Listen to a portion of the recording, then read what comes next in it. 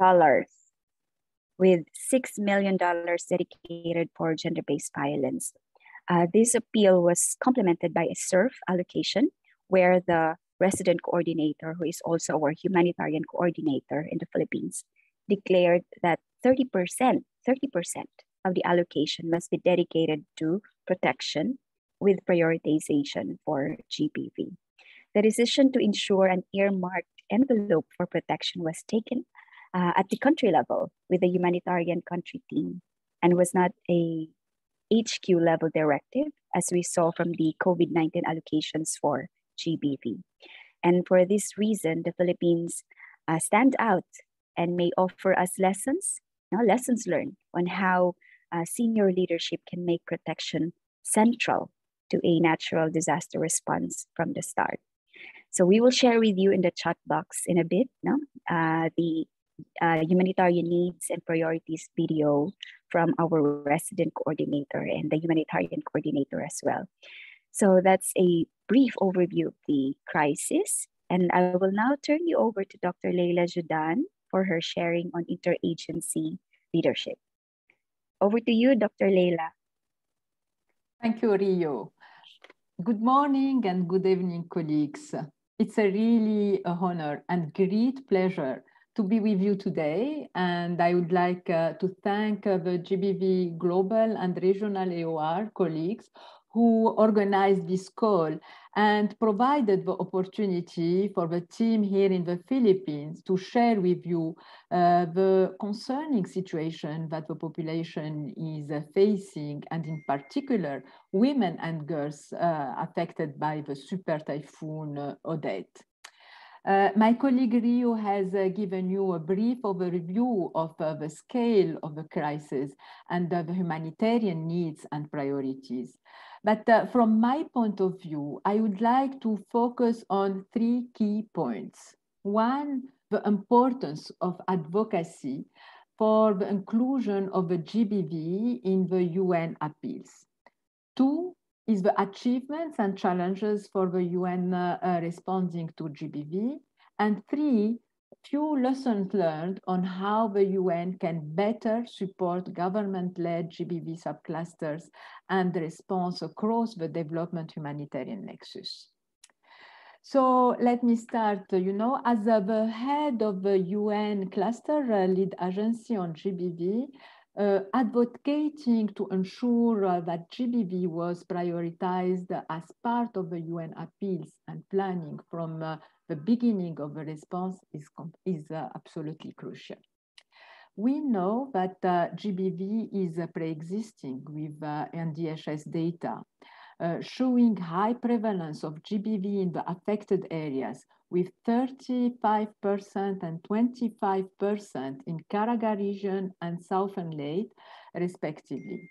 Therefore, it is expected that uh, uh, there will be an increase of GBV in the affected areas, of course. Um, so preparedness was definitely a major factor in the inclusion of the GBV in the UN appeals. Uh, as you all know, the Philippines ranks as the third most disaster-prone country in the world. The Philippines, uh, we faced, uh, you know, uh, yeah, an average of 20 typhoons in the, uh, you know, uh, each year. So in this regard, and prior to the typhoon, the GBV subcluster developed the GBV subcluster strategy and work plan to better prepare for disaster. And uh, this was uh, made possible uh, through the support of the REGA team. And I would like uh, really to uh, uh, thank our colleagues from the REGA team who supported the, you know, the GBV sub, subcluster here in the Philippines to develop our strategy and work plan. and it was done in close partnership with the government, with uh, INGOs, CSO members of the subcluster. It's a very uh, important to, uh, uh you know, highlight this, but uh, the, sub, the GBV subcluster is co-led, co-led by UNFPA uh, and our governmental counterpart, DSWD. And it um, it, uh, we regularly meet uh, even prior of the typhoon, and this is why we developed our strategy and work plan. Uh, that helped us, helped us uh, at the onset of the typhoon to successfully advocate for a dedicated budget for protect, uh, protection GBV. This was possible primarily because of the following key action and intervention. One, awareness of and engagement of the UN humanitarian country team in the development and enhancement of the GBV subcluster strategy. It is good to note that the GBV subcluster as the only body that has a strategy among the different clusters. So uh, this is the first, uh, you know, key actions that uh, allowed us to uh, advocate uh, successfully uh, for to dedicate a budget Uh, uh, in the beginning of uh, the response. The second point is UNFPA as a co-lead of the GBV subcluster with our governmental counterpart, SWT, provided data and evidence to support planning for the response example uh, uh, highlighting relevant pre-disaster data on GBV in the affected areas, as I said uh, before, uh, underscoring that cases of GBV increases in the context of emergencies, among other evidences that was shared with HCT members. Three, is the strong coordination and working relationship with UNHCR, UNICEF on protection issues, which added a strong voice at the humanitarian country team. So through this advocacy, we were able to integrate GBV among the priorities selected for funding. And as we continuously respond to GBV, we have several achievements to date but also note some challenges that the UN and its partners continues to face in response to large-scale natural disasters. So let me share with you um, three key accomplishments to date. One, at the UN level, UNRCs uh, advocated for a 30% allocation to address protection issues on major uh, resource mobilization efforts. Uh, as uh, uh, you know, uh, you know, we were um, successfully to raise, you know, 2.5 million, for example, from CERF and uh, because also of uh, the strong, uh, you know, RC position, to uh, uh, allocate 30% of uh, this budget to the, to address protection issues and GBV issues. Two is notable strong leadership of a government in the GBV response. And we have active uh, GBV subcluster members uh, uh, like INGOs and CSOs at the national, but also at the regional level which led to the third point that I want uh, uh, to share with you as an accomplishment, which is uh, the immediate reactivation of the regional GBV coordination mechanism, maximizing the existing protection mechanisms, such as the Regional Inter-Agency Council Against Trafficking and Violence Against Women and Children. But uh, as with uh, most large uh, uh scale natural disaster, we have also encountered several challenges. And notably, this include one, uh, GBV issues remain largely unseen or not prioritized by uh, different humanitarian actors. This is why we need to continue this advocacy uh, uh, as a, you know, uh, a, subclass, a GBV subcluster. Two is the insufficient uh, funding to fully cover the GBV needs and priorities.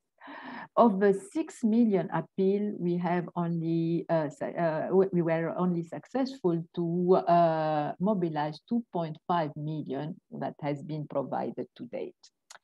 Three is uneven capacity of service providers in different regions uh, and uh, on addressing GBV issues and on coordinating GBV services provision. Uh, four is uh, an availability of sex age disability data remains a major concern, uh, which limits uh, different humanitarian actors uh, from seeing the unique needs of women, girls, and other vulnerable groups during the emergencies. While uh, this is currently being addressed through the development of an information management for the response cluster, this initiative, however, is still limited to the Caraga region, and we need uh, to uh, put more uh, efforts to ensure that uh, other regions will benefit from uh, the same support and to develop information management for response in the other region as well. So uh, with these achievements and challenges, we have also noted the key lessons learned on how the UN can better support government-led uh, GBV subclusters in and uh, response in development and humanitarian nexus. Crucial is the continuous provision of technical assistance to government on the different aspects of GBV coordination work including among others, on how to reactivate and strengthen the subcluster, capacitating government counterparts on the different GBV assessment tools, facilitating the engagement of different uh, actors on the, in the subcluster, the INGOs, CSOs, women-led uh, organization, and providing information management support, as I said uh, investment to the work of GBV coordination is, uh, is uh, vital.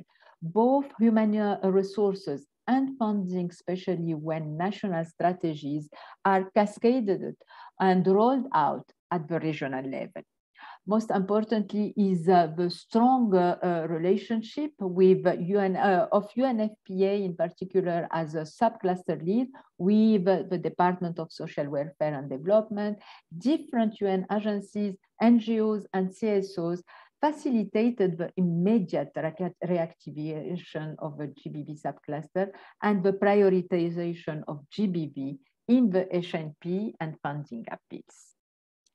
So last but not least, I would like to share with you that after more than one month after the typhoon, uh, the following key immediate needs specific to GBV as stated in the recently uh, developed consolidated assessment. Uh, one is the emergency hiring of human resources for health and GBV services for integrated life-saving health and protection services, and the provision of the personal protective equipment given uh, the rising uh, cases of COVID-19. Indeed, it's uh, really a crisis within the crisis. We are now facing, uh, you know, the new COVID, uh, a new COVID surge, which uh, affects, you know, the um, service providers and uh, we need to be capable to augment and to hire uh, the necessary human resources uh, to provide, you know, uh, an integrated life-saving health and protection services. And uh, of course, provide them with the PPEs as well.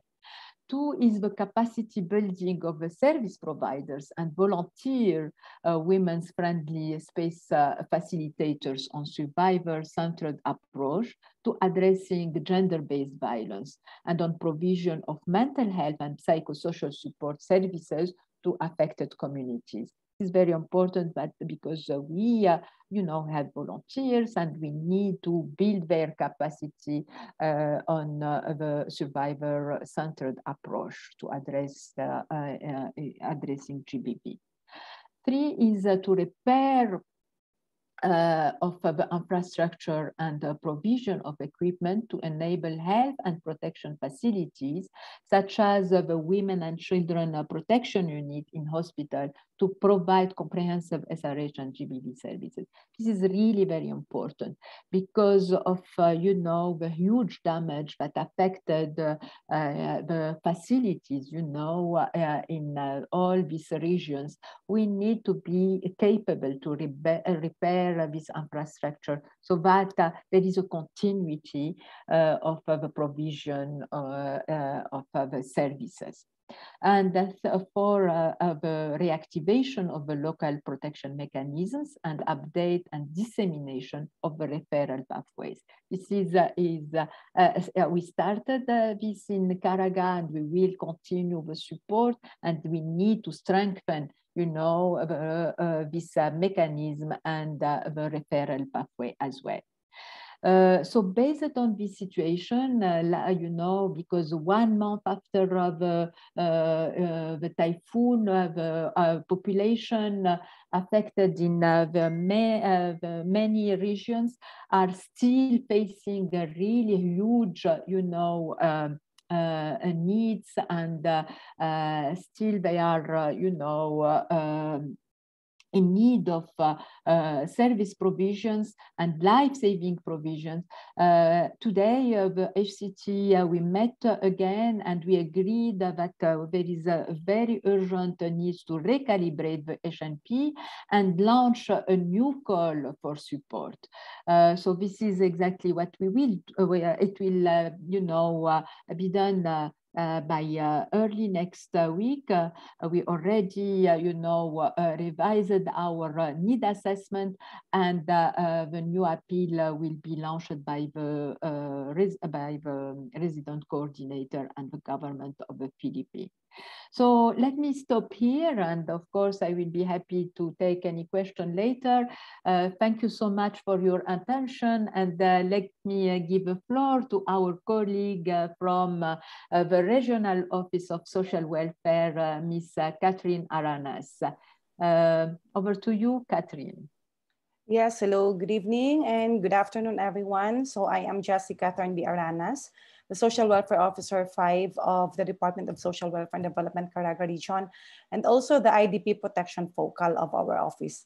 I will be providing you the updates in the context of the gender-based violence or GBV response as a result of the assessments made by our office and also with our partners for the past month in heavily devastated areas, particularly in Surigao del Norte and in province of uh, Dinagat Islands. So my presentation is limited only on the areas under our jurisdiction and may be different from other regions affected by Odette. So after the onset of Odette, what has been the response of the IDP Protection Cluster focal on this? So I would like to inform everyone that in the Philippine context, so we utilize the cluster system approach. So cluster system means uh, it is uh, ensuring that there is a more coherent and effective response by mobilizing our government agencies, our partners, uh, like the IOs, the international organizations, the other NGOs, to respond in a strategic manner across all key sectors with clearly designated lead agencies. So this was adopted already in the country in 2007. And uh, this is led by the, by the national government agencies as the cluster lead, while agencies in the humanitarian country team are the co-leads. So the Department of Social Welfare Development is the vice chair of the disaster response, which also has 11 subclusters, of which the IDP protection is one of those clusters, which also has two subclusters, this gender-based violence and the child protection subcluster. So for the IDP, we have these major achievements to date. We have the immediate conduct of our tri-cluster rapid assessments. This is along with the camp coordination, camp management, the food and non-food items, and the IDP protection, our protection. And then we also activated the Regional Interagency Council Against Trafficking and Violence Against Women and Their Children. And also we have the Regional Child Protection Working Group, which is the subcommittee under the Regional Committee for the Welfare of Children, which are already the pre-existing protection mechanisms at the regional level. And also we have released advisories and hotlines to address the various emerging issues, including the GBV, to answer observations on children and women begging for food and asking for money. So this could be potential GBV situations. Fourth, we also have progressive or regular GBV or child protection coordination meetings. And we also adopted policy in harmonizing the response cluster report templates. And also we have continuous conduct of, of psychosocial support to IDPs and sharing of our life-saving messages on the GBV and prevention on sexual abuse and exploitation to communities. Next, please. So far, based on our assessments conducted for the few weeks, these are the considered pressing needs that should be answered immediately. So number one is to conduct of GBV risk mitigation activities in our existing evacuation centers and even to the returned communities or home-based IDPs. The second is uh, to expand reach of our psychological first aid and mental health and psychosocial support, complementing other agencies and other clusters. The third would be on the immediate reactivation of our local protection mechanisms and updating and dissemination of, uh, of our referral pathways where IDPs can, of course, have clear contact on where to seek help or assistance if needed. And then the fourth would, would be on the conduct of capacity building, be on mentoring or coaching with our service providers and our local women-friendly space facilitators on survivor-centered approach to address the GBV. And the last would be on the repair and resource augmentation for our women and children protection units for the continuous provision of comprehensive GBV services, including the clinical management of rape and of course, with the intimate partner violence. So in summary, next please. These are the key highlights of our IDP protection cluster in Caraga region, particularly on the gender-based violence. So we leverage on the existing local protection mechanisms from the regional level, but of course, this would follow the cascading on the local levels or to the local levels.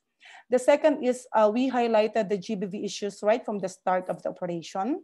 So this was very helpful to us so as to determine what, what could be the GBV uh, issues that need to be addressed to.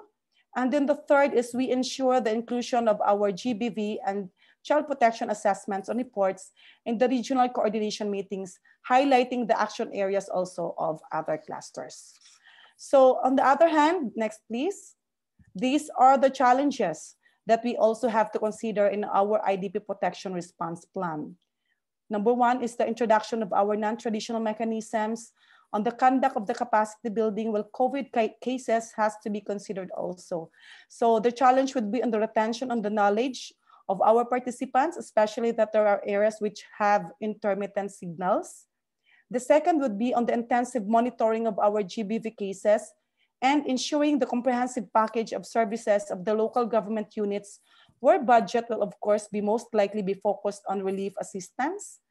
The third would be uh, this would also be a challenge for us to ensure the protection of our team who will be providing IDP support while at risk of acquiring the COVID-19, hence the question of the continuity of our services or to cover relief assistance or to cover other assistance and interventions to the IDPs.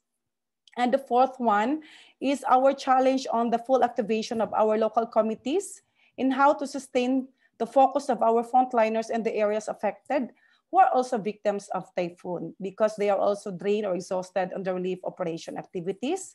Hence, there's a need for continuous technical assistance also from the regional committees and also with our partners from the international organizations and from the other NGOs as well.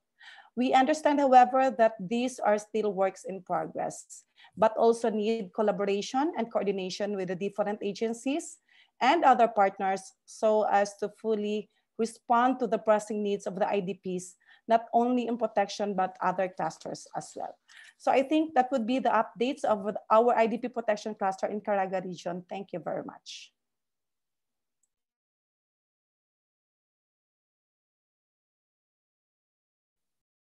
Great, thank you, um, Cassie. That was very comprehensive and, and very informative. Um, so now we're going to hand over the floor and actually, just before I hand the floor to our next speaker, um, just to remind everyone that there will be time for questions and answers. So please um, write your question in the chat so you don't forget it. Uh, I know each, each speaker is going to raise a different set of questions for you. So feel free to put them in the chat and then we'll come to them at the very end after we've heard from all of our speakers. So our next speaker is Ms. Jean Enriquez who is um, from the uh, the, or, the organization that is working against trafficking in women in Asia Pacific. Um, and you can see there, it's, the call, it's a coalition. And uh, she's part of the very strong civil society uh, that works in the Philippines, which I have at least been in touch with a number of very impressive women-led organizations from the Philippines. So um, it's exciting to have uh, Jean Enriquez, who's the executive director uh, on this call to give us uh, a voice of some of the civil society organizations. So over to you, um, Jean. Thank you so much, Jennifer. Good evening, everyone from the Philippines. Our deep thanks to UNFPA and the Global Gender-Based Violence Area of Responsibility for inviting us to share in this very important meeting. This first slide was from Bohol, a province severely affected by the typhoon and the single women heads of families allowed us to share this photo of them. Um, next slide, please. Let me first share briefly on how local NGOs, especially women-focused NGOs, are mobilizing and participating in the GBV coordination and interventions in this typhoon response.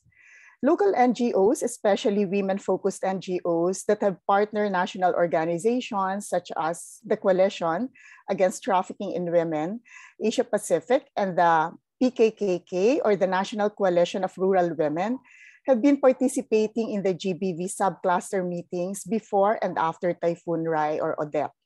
We were also directly coordinating with local so social welfare department partners, women and youth groups, and other civil society groups and social movements, including labor, before, oh, before typhoon for preparations in evacuation and mobilization of relief during and after the typhoon.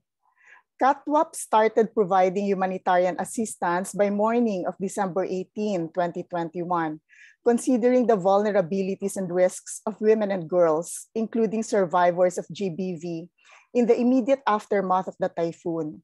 Beneficiaries were women, youth, and their families in the provinces of Dinagat Islands, Surigao del Norte, Surigao del Sur, Negros Occidental, Bohol, Samar, Eastern Samar, Leyte, Southern Leyte, Cebu City, and Palawan. Next slide, please. There are specific risks and concerns for trafficking of women and girls in this response. Immediately after the onslaught of the typhoon, our survivor leaders contacted GBV survivors who are in our network in the affected areas. Survivors of sexual exploitation and trafficking reported that their houses were inundated in Cagayan de Oro while GBV survivors assisted in above-mentioned provinces lost their homes and their families' livelihood. Sources of food and means of food production, such as rice mills, were also damaged. Thus, women and youth we assisted had to travel far to access rice in the early days of the typhoon aftermath. All this put them at risk of abuse and re-victimization in trafficking. Next slide, please. These photos were from our partner youth and local women's groups in Negros Occidental and Palawan, respectively, with their, uh, given with their full informed consent. Next slide, please. Having been victimized in trafficking and sexual exploitation, before, not a few of them were enticed to the sex industry as they, be they became anxious of the future of their families, while at the same time, some of their children became sick and had to be hospitalized. Being connected to survivor leaders in our UNFPA supported online support groups for survivors of online sexual exploitation and abuse, the women and girls were assisted by CATWAP together with our network of survivor leaders, local social welfare departments, partner women, youth, and other CSOs. Uh, they were immediately assisted and uh, through integration into cash programming, healing, and psychosocial support activities. Therefore, their re-victimization in trafficking was averted. We can only imagine how many more who are yet beyond our reach could have been re-victimized back to sexual exploitation. Next slide, please. The areas affected by Typhoon Rai were historical hotspots of trafficking when overlaying the map of affected areas from the National Disaster Risk Reduction Management and the U.S. Trafficking in Persons Report of 2020. Thus, it is important to make visible other areas severely affected by Typhoon Odette. Next slide, please. What makes this response similar or different from others, such as the post-Haiyan response?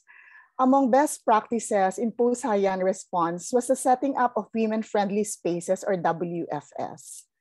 Civil society organizations, including CATWAP, were also part of the setting up of the GBV watch groups in evacuation camps.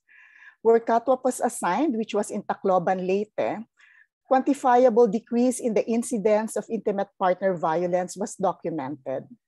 In many areas, the GBV watch groups were integrated in the barangay or village level government structures. In Roxas City, the project received an award on gender responsiveness from the local government. Barangay or village level authorities in Eastern Samar also issued ordinances declaring their areas zero trafficking through activation of barangay violence against women desks, community education, and application of the anti-trafficking law in case of red flags or proven incidents of trafficking. Next slide, please. Here is a photo of our GBV watch group members in Tacloban, Leyte, holding lamps and arnis sticks. They had a training on indigenous self-defense called arnis, which gave them confidence in their own bodies and their own spaces. They were trained on women's rights laws, gender sensitivity, and gender responsiveness. Next slide, please. Among promising practices in post-Odette response is the integration of at-risk groups of women and girls into cash for protection programming, including survivors of GBV, pregnant women, persons with disability, and adolescent mothers. The survivors have been deeply thankful that GBV was mitigated by the immediate response of CATWAP with the help of UNFPA provision of replacement for computers of the local police by UNFPA is necessary in ensuring continuity in legal services for cases of GBV that authorities need to respond to. And CATWAP, together with UNFPA, intend to support with cash for protection. Finally, life-saving mes messages on prevention and response to GBV, including trafficking and sexual violence, will be transmitted through community radio the fact that affected areas are tourism areas makes these activities very necessary. Finally, the women survivors and CATWAP cannot express our gratefulness enough for the sensitive support by UNFPA to our responses on the ground that saved lives of many women, young people, and their families. Thank you and good evening from the Philippines.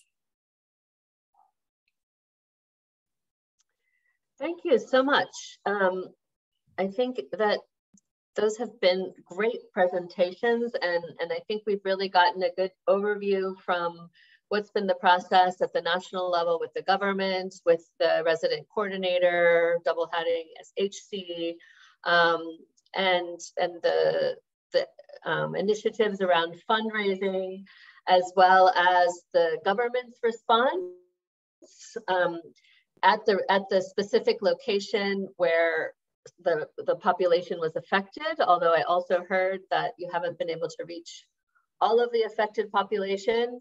And then some really exciting and innovative initiatives, some learned as good practices from the last uh, huge hurricane or typhoon that, that many, I think even on this call might have um, been at in the Philippines, um, as well as the new challenges brought on by COVID on top of all of this um, and, and how that has meant needing to work in new ways.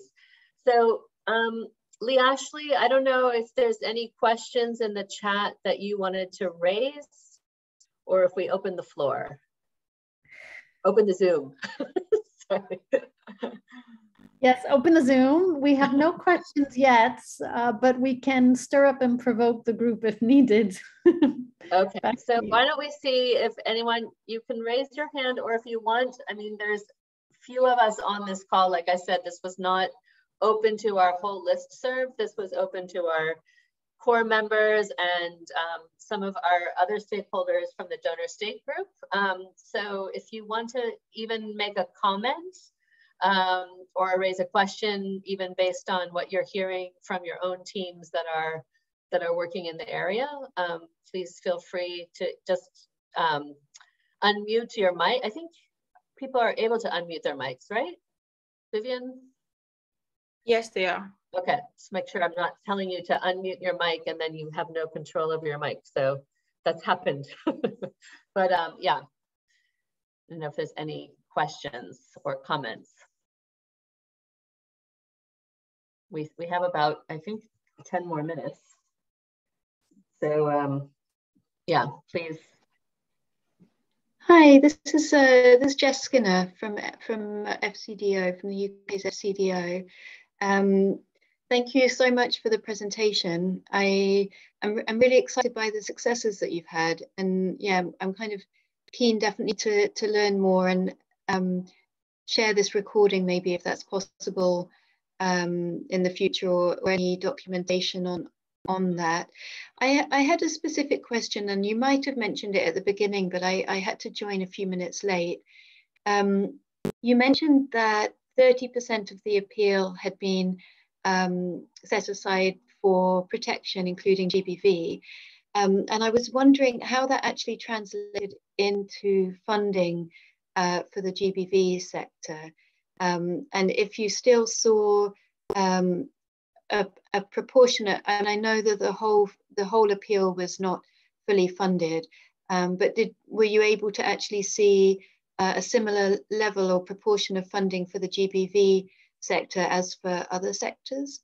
Thanks so much. Do you want to take that one, Leila? Yeah, yeah, of course. Yeah. Uh, thank you, um, uh, Jess, for this uh, question. Uh, so, yeah, uh, absolutely. As you said, uh, the whole appeal, you know, we was 107 million, and we only, you know, were successful to um, to receive, you know, for the uh, uh, from the CERF uh, 12 million.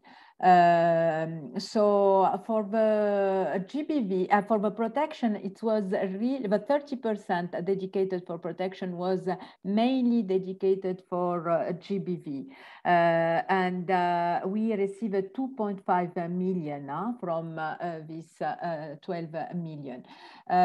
of course, you know, we are far from the, to cover the entire, you know, needs. we Uh, in the beginning uh, of this appeal, uh, we were, we uh, uh, you know, uh, budgeted the needs for 12 millions and we only rece received 2.5 millions. Uh, the 12 millions cover the GBV and SRH. So for the GBV specifically, it was uh, 6 millions. So as you can see, we uh, were successful to, uh, uh, uh you know, have uh, 30% of uh, the budget for GBV, but still we have a huge, you know, gap in the funding. Uh, and now, uh, uh, one month after, uh, we know that uh, the, the needs are uh, even more because, you know, the um, people are now coming back to their, you know, very isolated, you know, islands. uh, to, uh, you know, uh, repair the damage for their houses. So which make the response more difficult even. And to we need to be more innovative to ensure that the services are provided even for these uh, people and uh, women that are uh, in a very isolated area. Yeah, back to you, Jennifer. Great, thank you. Thank you for that. Um, and I think, you know, one of the reasons that we wanted to have um, Leila on this call was because, you know, we've really, I think in advocacy, um, seen that when there is strong leadership at the beginning um, of an emergency, uh, pushing, doing advocacy to get the funding that's needed for GBV, it makes a huge difference. And so we felt like this is a, an example where um, a lot of the different elements that we're often advocating for in terms of supporting the government in natural disasters, in terms of working, supporting, looking at how we can support uh, the local organizations that are on the ground. And, and I think one of the things that Layla pointed out that has, has been um, a, success, a success in the preparedness work is that you know, it wasn't like waiting till the beginning of the emergency and then going and advocating at the table. It was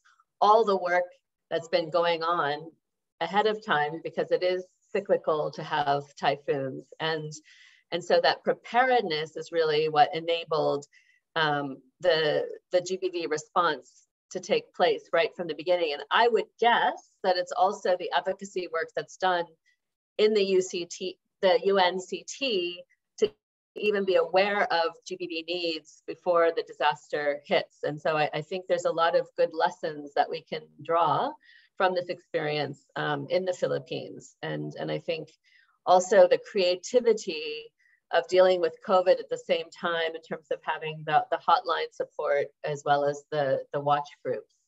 Um, I noticed that there's a number of people from USAID on the call, and I know some of you are from the region. I don't know if you want to make any comments or if you have been interacting with actors from other regions um, in the Philippines and want to raise any of their concerns or, or provide any update from your side. I think Laura is on the call. I think this is your region. Yep. Hi, everybody. Uh, this is Lara. I am a protection advisor with USAID's Bureau for Humanitarian Assistance. Um, I do have other colleagues on the call who um, are focused on the region, and I definitely welcome their input. Um, I, I, really appreciate these presentations, um, and I also really appreciate your response to uh, Jess's question on funding, which was also my question. So thank you for anticipating that. Um, I do have, I have, I would love to know I have a question more on a technical side, but again, I welcome my other colleagues if they have other things they want to add. Um, uh, Ms. Baranas mentioned that um, COVID-19 like concerns and restrictions are impacting capacity building activities. And it would be great to hear from the speakers um, a little bit more on that and how their teams are approaching uh, supporting their staff in this context and what, what's working and how they're overcoming uh, these barriers. Um, so that's one question from my side, but again, any other colleagues on my end, obviously feel free to jump in and thank you again, everybody. Okay, so can I answer? So thank you, uh, Ms. Lara, on that question. Actually, on the context of uh, the DSWD, we have conducted capacity building, uh, also mentoring and coaching, but it's through hybrid session meaning to say we we do face to face but on limited uh, people only but uh, this is also part of the challenges that I have shared a while ago that it's because of the hybrid session, we couldn't be able to uh, sustain the retention or uh, the focus of our uh, of our participants. And also one of the challenges here is on the context of the intermittent con connection also.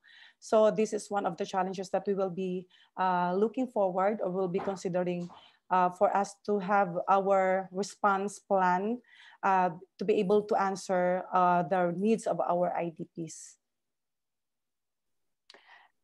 May I add uh, something here? Yeah. Of uh, course, uh, go ahead. yeah, thank you, Jennifer. Uh, no, Lara, it's very important. And as I, we both said, huh, Catherine and myself, COVID really added the burden, huh? and it's a crisis within a crisis. Uh, so uh, exactly, we noticed that uh, we have, uh, you know, many uh, um, COVID uh, mm, cases among the service providers. And what we did as UNFPA, we were able also to mobilize our, you know, emergency fund, UNFPA emergency fund, from UNFPA emergency fund, to mobilize the, our surge, you know, colleagues and uh, they, uh, uh, you know, we have to augment the capacities of response in uh, at local level. So we uh, we have uh, people coming on board, and we are also augmenting. You know, we are in support to augmenting the number of service providers, and this is why we said that it's uh, very important to take into account uh, these uh, new emerging issues that was not in the first, you know, appeal, and we need to find, you know, the necessary um, resources to augment, you know, the capacities Uh, to respond to the GBV and also for us to SRH as well, because people are sick and uh, we need to hire uh, more people uh, uh to uh, respond. Huh? So this is very important. And we started doing this. we mobilized colleagues from the regional office, but from our surge to come in. plus, we are hiring also um, local um, you know, uh, staff uh, to support our colleagues in the, the ground. One other very important point is the solidarity between regions we saw that, uh, for example, uh, uh, in uh, Southern Leyte, uh, we have uh, Eastern Samar that deployed, you know, um, teams from Eastern Samar to, they deployed it to, to Southern Leyte to support, you know, the response there. So there is solidarity between regions. the governors very quickly accepted to support other regions. And this is also another lesson learned. Uh, uh, that uh, uh we can, uh, you know, uh, um, show as good practices. yeah, thank you. Back to you. Thank you. And I see that Tony, you have your hand up. Do you want to ask a question or make a comment? Yes, thanks, Jennifer. I do have a question. Thanks so much to the presenters. It's great to see and to hear um, the different ways that senior leadership has supported the prioritization um, and supporting the needs for the GBV response.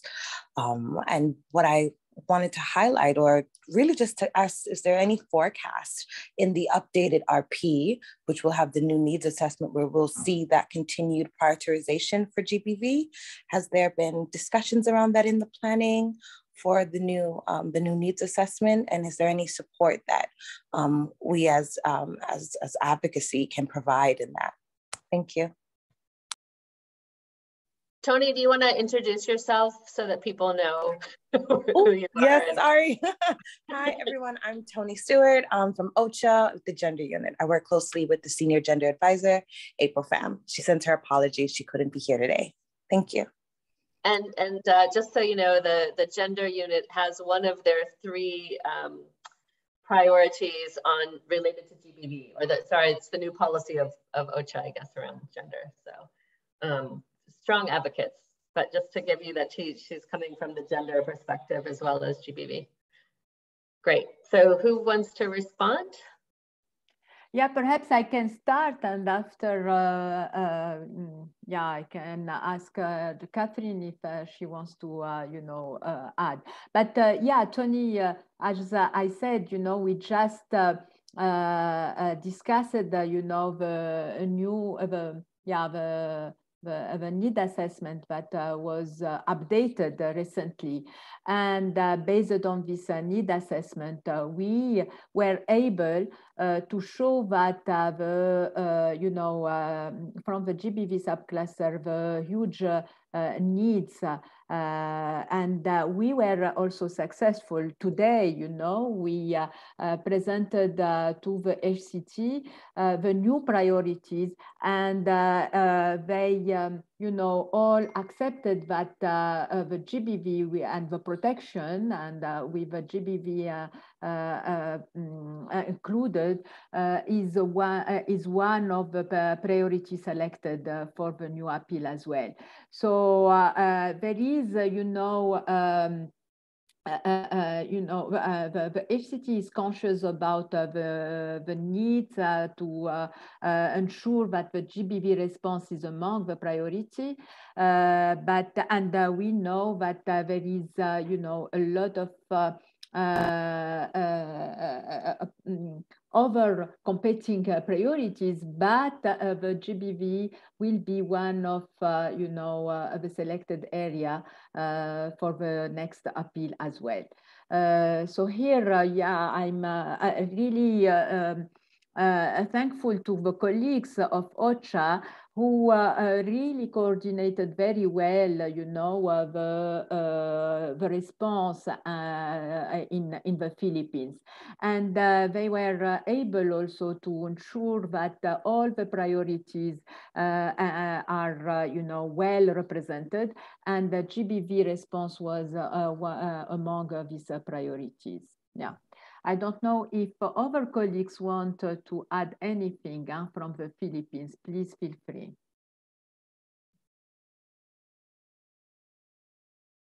No? Okay, I wanted, I did want to raise, because we have some child protection actors on this call as well. And I think the Philippines um, has also a tradition or, or a history of having child protection and GBV, um, even I know in Mindanao, they had a working group where you looked at both issues together. So I'm just wondering if there's anything um, that you want to say around adolescent girls and you know do they have special needs are are are their needs being looked out for and prioritized as one of your target groups um, and maybe maybe this would go uh, a question to to either to either Kathy or to Jean. Yes, uh, thank you, Miss Jennifer. So actually for the adolescent uh, or teenage teenagers years, we, all, we also have noticed based on our assessments and visits in the areas. So we have uh, assessed or we have observed that there are teenagers who are frequently visiting uh, charging stations because there are only limited uh, electricity in some areas. So there are charging stations or mobile uh, places which all, all have uh, mobile signals where these girls are frequently visiting. So this is one of our uh, potential GBV cases or child protection issues that we need to be uh, we need to attend to. So uh, this was already discussed based on our previous uh, meetings. And then we, we are also monitoring uh, cases of GBV and uh, sexual abuse cases, particularly in Siargao and province of Dinagat Islands. And another uh, case has to be validated also in uh, San Benito, Surigao del Norte, or in Siargao Island. So these are something that has to be uh, attended to or to be validated by the team and uh, we need also to provide activities, especially in the psychoeducation for the parents who are leaving their children in the evacuation centers. So these are points to be considered also of the team and not only with the gender-based violence, but also with our uh, child protection partners also. Thank you so much. Jean, did you have anything you wanted to add? Um, I'm good. Thank you, uh, Jennifer. Okay. I think I mentioned uh, several during my presentation. Yeah. Thank you. Okay. So um, I'm aware of the time and I know people have other meetings that they need to go to, but is there any last burning thing that you're like, oh, I forgot to say that, or I forgot to add that just to give anyone a, a chance or any burning last, last question that you want to ask before we all hang up? Okay, so I want to thank everyone for coming. I'm, I'm not going to go through a whole summary because I wanted to give that extra time for questions and answers. But I think that all of the presenters would be happy to um, respond in any sort of bilateral questions that you might have. You can write to us for their contact information. And I mean, I'm excited about all of the lessons that we're hearing that I think ideas that could be applicable also in, in other locations, especially around the preparedness.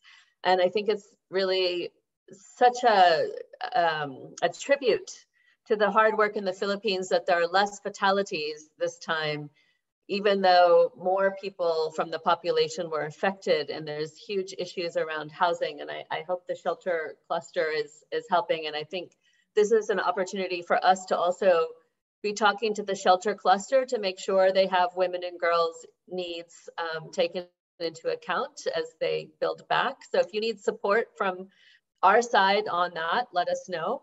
Um, and we have lots of operational partners on this call. So um, please, you know, when there's uh, still areas that need to be addressed. And Lee Ashley has put up um, the key messages on the last slide. So so um, Jessica, in, in, response to your question, uh, we can share the, the recording of, of this call so that if people missed it, Um, and definitely the PowerPoint we will include um, in a monthly update. But please do get in touch with us if you want to speak to any of the presenters individually. And, um, you know, maybe we can come back to one of our monthly calls in the future and get an update on, on how it's moving forward. Um, and, and really exciting to hear from both the government and uh, the women-led organization. And I'm sure we would hear very interesting stories from some of the other voices from the field as well. So, so thank you for giving us um, a photograph of that. And, and I, I think what I want to say is we're so excited by the achievements that you mentioned, but we don't want everyone to go away feeling warm and fuzzy and like now we don't need to worry about the Philippines. You know, it was it was bad timing right before the holidays and it very quickly falls off the media. So so please do remember the Philippines and and please do recognize that there's a lot of unmet needs that I think Layla pointed out with the, the funding is, is it's great that GBV was prioritized, but they still need additional resources to meet all of the needs. Um, and it sounds like the infrastructure is there to make that happen. And so more funding would be very welcome. So thank you everyone. And uh, yeah, it was great to have all of you on this call and thank you for taking the time in your schedules. Thank you so much. So bye everyone. bye. Thank you. Thanks a lot, much. all of you, really. We'll be in touch. Yeah. And, uh, so and definitely anyone who comes to us, we'll, we'll put them in touch with you directly.